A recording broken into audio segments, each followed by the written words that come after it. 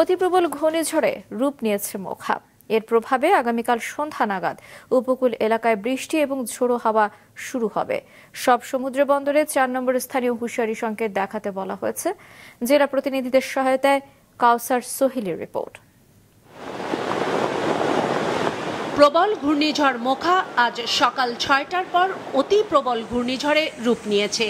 ঘন্টায় এগারো কিলোমিটার গতিতে অবস্থান পরিবর্তন করে এটি এগিয়ে আসছে টেকনাফ ও কক্সবাজার উপকূলের দিকে। এর প্রভাবে কাল সন্ধ্যা নাগাদ উপকূলে শুরু হবে বৃষ্টি, দমকা ও ঝড়ো হাওয়া।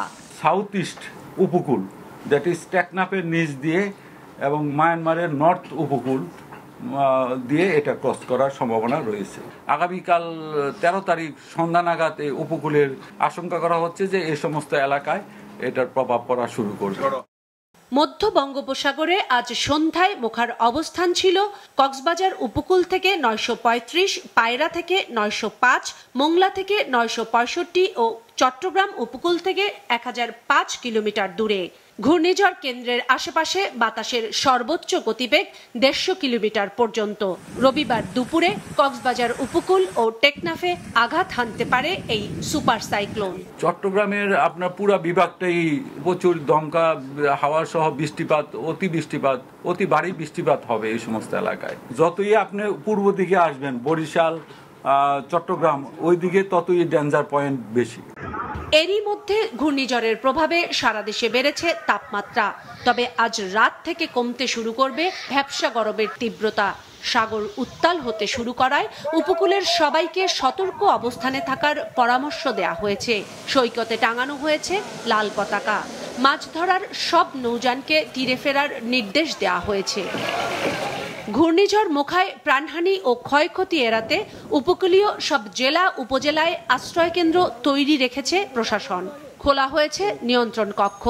কক্সবাজারে রোহিঙ্গা শিবিরগুলোতেও নেওয়া হচ্ছে বিশেষ ব্যবস্থা। প্রত্যেকটা ক্যাম্পে একশো করে সিপিবির ভলান্টিয়ার আছে।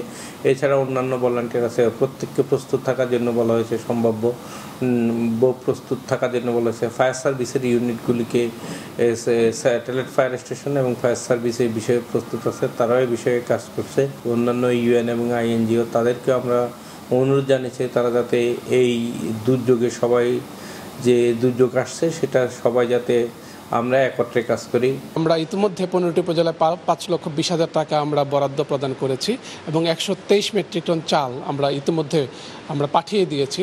আমরা ঘূর্ণিঝড় মোকা মোকাবেলার জন্য সম্পূর্ণ প্রস্তুত আছি।